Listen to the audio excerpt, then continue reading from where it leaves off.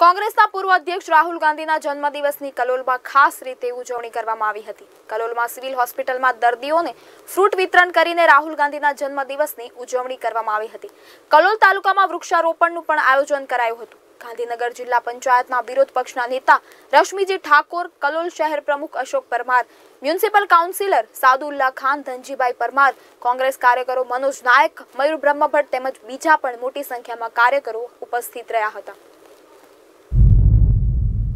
એવા સાંસદ એવા રાહુલ ગાંધીજીનું જન્મદિવસ હોવાથી આજે કરોડ તાલુકા કોંગ્રેસ સમિતિ શહેર કોંગ્રેસ સમિતિના પ્રતિ અમને હાર્દિક જન્મદિવસની હાર્દિક શુભેચ્છાઓ આપીએ છીએ.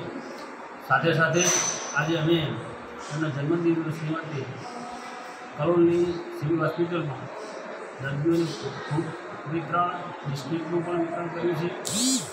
આજે પાર્ટીના અમારા કરોડ તાલુકા કોંગ્રેસ સમિતિના બધા હોદ્દેદારો છે અને ભેગા થઈ વૃક્ષારોપણનો પણ પ્રોગ્રામ કરવાના છીએ આ રીતે રાહુલ ગાંધીના જન્મદિવસની ઉજવણી કરવાના છીએ.